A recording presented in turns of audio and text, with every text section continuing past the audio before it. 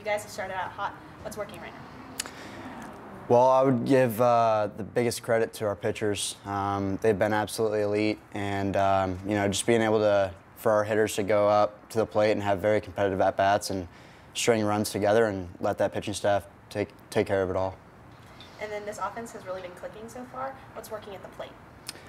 Well, I, I would say Coach Vaughn has uh, um, he, he's really helped us um, grow as hitters. I, I think you know just being able to be here and understand like what we have to do at the plate with you know having a plan and understanding the situation and you know just kind of being gritty at the plate and um, stringing good at bats together and you know I think this team has really came together as a whole.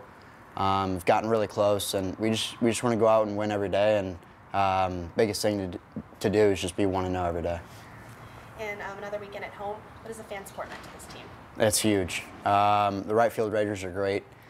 Um, you know the fans have so much to do um, with Alabama baseball and just the school in general. And you know, just to be able to have fans come to the Joe and root us on is is awesome. And Valparaiso comes to town this weekend. What kind of challenge do they present? Yeah, Valparaiso is a pretty good team. Um, you know, it's just another team that comes in and. Um, you know, that they're going to play their hearts out, and we are too. And, you know, we're just trying to be 1 and 0 every day and, um, you know, hoping to get a sweep this weekend.